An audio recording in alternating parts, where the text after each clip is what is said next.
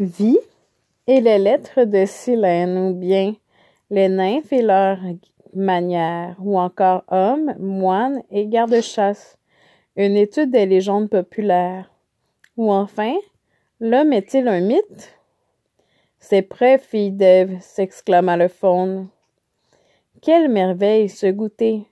Il y avait pour chacun d'eux un délicieux œuf brun, parfaitement cuit à la coque, puis des sardines sur du pain grillé, puis des tartines beurrées, puis des toasts avec du miel, puis un gâteau nappé de sucre glacé. Et, quand Lucie eut assez mangé, le faune se mit à parler. Il connaissait des histoires merveilleuses sur la vie dans la forêt. Il raconta les danses de minuit, lorsque les nymphes qui habitent les sources et les dryades qui vivent dans les arbres sortent de leur cachette pour danser avec les faunes. Il raconta les longues chasses à court, à la poursuite d'un cerf blanc comme le lait, qui peut exaucer vos souhaits si vous l'attrapez. Il raconta les festins et les chasses hauts